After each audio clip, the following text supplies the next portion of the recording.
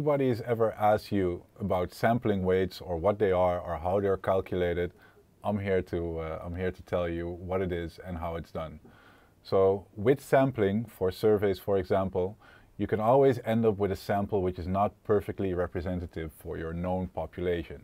For instance, age or gender might be off or skewed a little bit, and you may have to calculate the weights that fix that, uh, that bias in your sample. Um, so if you know the, the, the, what the percentages are supposed to be in the population, and you know how your sample is actually uh, distributed, you can calculate sample, sampling weights. Um, that's easier said than done. Uh, there's all kind of difficulties and technical details that you can run into. But we've created sampleweighting.com to help you with this and to make it super easy. All you have to do is upload your, your data set containing your, uh, your sample. You enter what the targets are supposed to be of your population and the tool does the rest for you.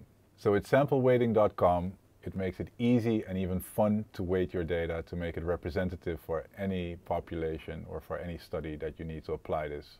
So try it out today.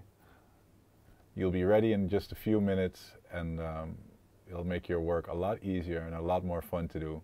And it'll get you right back at focusing on what you need to focus on, namely analyzing the data